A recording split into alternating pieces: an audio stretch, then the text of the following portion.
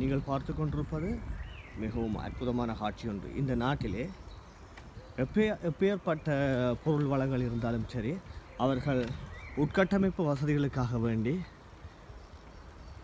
எந்த மாதிரியான கட்டமைப்புகளை அவர்கள் செய்து கொண்டிருக்கிறார்கள் என்பதை நாம் இப்பொழுது பார்த்து கொண்டிருக்கின்றோம்.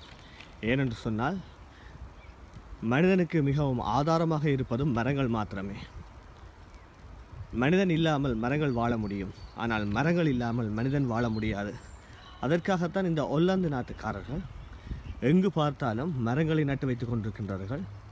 அவர்கள் நீர் மேலாண்மை அதை முக்கியத்துவப்படுத்தி வைத்திருக்கிறார்கள். அதனால் எங்குமே அவர்கள் இந்த மாதிரியான தண்ணீர் தடாகங்களாக எங்கும் காட்சியளித்துக் கொண்டிருப்பது அவர்களினுடைய சிறப்பம்சமாகும்.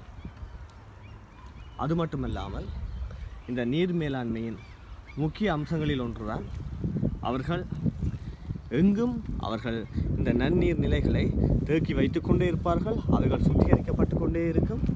அத்தோடு மட்டுமல்லாமல் நாடு முழுவதும் பசுமையாக இருக்க வேண்டும் என்பதற்காக அவர்கள் இந்த நீர் மேலாண்மையிலே மிக மிக மிக மிக துல்லியமான அளவிலே முக்கியத்துவமான காரணிகளை செலுத்தி கொண்டே இருக்கின்றார்கள். நீர் மேலாண்மை என்பது ஒரு மனிதனுக்கு வாழ்வாதாரத்தை அதிகப்படுத்துவதாகும்.